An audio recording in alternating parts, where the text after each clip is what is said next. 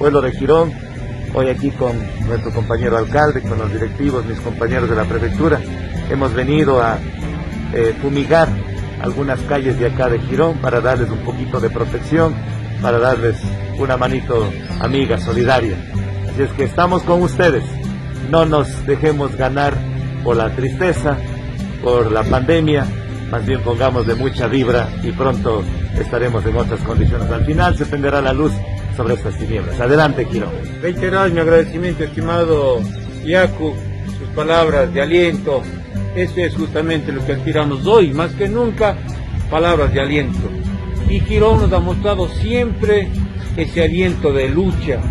Y esta es una prueba más que estoy seguro con el señor de Quirón y con ustedes, amigos, con Yacu, con todos, vamos a vencer, pero desde la solidaridad, vamos a vencer desde la comunidad.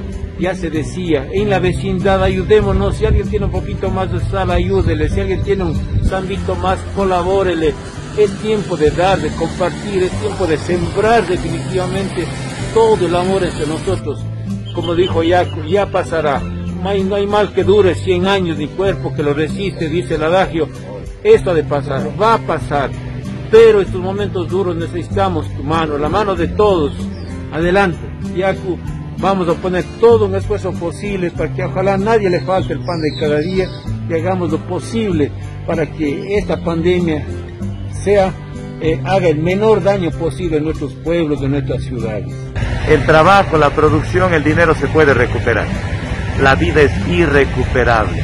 No quisiéramos que ningún hermano de Girón, de la SOY, del Ecuador, se apague su luz, se apague la vida.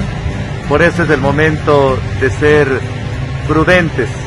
No nos descuidemos de nuestros cultivos de la chacrita. Ahí no está el virus. El virus está entre las personas.